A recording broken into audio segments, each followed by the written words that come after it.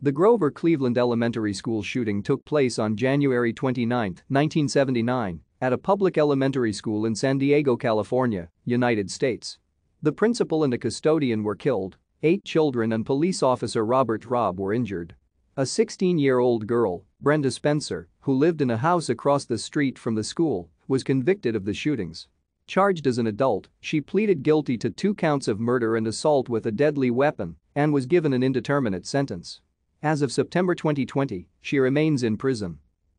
A reporter reached Spencer by phone while she was still in the house after the shooting and asked her why she had done it. She reportedly answered, I don't like Mondays. This livens up the day, which inspired Bob Geldof and Johnny Fingers to write the Boomtown Rats song I Don't Like Mondays. Brenda Spencer lived in the San Carlos neighborhood of San Diego, California, in a house across the street from Grover Cleveland Elementary School in the San Diego Unified School District. Thank you for watching.